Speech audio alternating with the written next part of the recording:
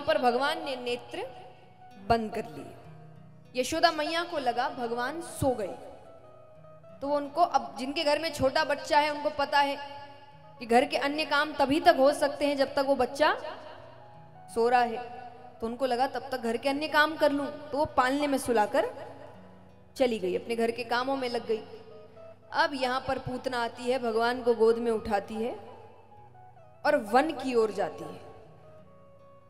अब वन में अब उसको लग रहा है आसपास तो कोई नहीं है, एकांत है तो वो अपने असल शरीर में आती है जो एक राक्षसी का शरीर है। अब वो भगवान को दूध पिलाने लग रही है। भगवान ने कुछ देर तो दूध पिया, फिर भगवान उसके प्राण पीने लगे। अब उसको तकलीफ़ हो रही है। तकलीफ़ हुई तो वो ज़ोर से चिल्लाए, लाला मोई छोड़, लाला मोई छोड़! लाला कहे, ऐसे तो मैं किसी को पकड़ता नहीं। और पकड़ लूँ तो फिर मैं उसे छोड़ता नहीं। देखिए, ये दोनों तरफा है। भगवान एक ही बात पे दो बातें कह जाते हैं। अच्छाई में भी बुराई में अच्छाई में है कि भगवान जल्दी से अपनाते नहीं। बहुत परीक्षा लेते हैं। अपनाने का मतलब अपना भक्त बनाना। इच्छाएँ पूरी करना वो बात अलग है। वो भगवान हर व्यक्ति का करे, जैसे कर्म करोगे, वैसे फल दिए जा रहे हैं। भक्त बनाना अलग बात होता है। तो वो जल्दी से भगवान अपनाते नहीं है। बड़ी परीक्षाएँ लेते हैं। परीक्षा क्या है? कठिन परिस्थितियाँ। कठिन परिस्थिति में भगवान देखते हैं, अब देखता हूँ ये मुझ पे कितना भरोसा करता है।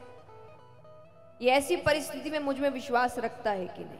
और व्यक्ति इसी परिस्थिति में भगवान को छोड़ता है कि भगवान नहीं है। बस भगवान कहते फेल हो गया। अच्छे दिन में आप साथ रहे तो क्या रहे?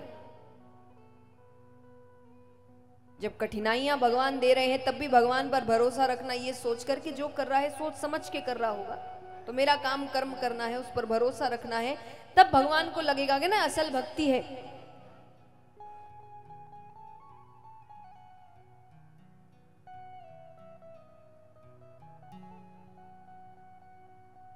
भगवान जब परीक्षा लेते हैं तो परीक्षा का अर्थ है कठिन परिस्थितियाँ। तो भगवान बड़ी परीक्षाएँ लेते हैं।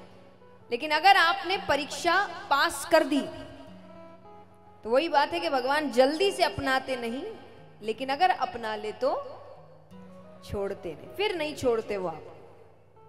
कोई भी हाल में वो आपका साथ नहीं छोड़ने वाले। और यही बुरा में भी है कि भगवान जल्दी से पकड़ते नहीं। यानी आप जब गलतियाँ करते हैं, भगवान एक बार किसी ना किसी तरीके से आपको समझाते हैं। कोई दूसरा कह रहा है, परिस्थितियाँ विपरीत होने लगती है। यानी भगवान बता रहे हैं, तुम गलत जा रहे हो। और जब व्यक्ति नहीं मानता, उसको ऐसा वो कहते हैं ना, विनाश काले, विपरीत बुद्धि बुद्धि विपरीत हो जाती है उसकी। फिर जब दंड देने पर भगवान आते हैं तो भगवान कहते फिर मैं उसे छोड़ता नहीं। फिर दंड भयानक मिलता है।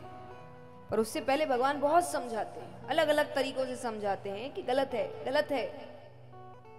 पर व्यक्ति नहीं मानता, अपने अहंकार में होता है, अपने गमंड में होता है।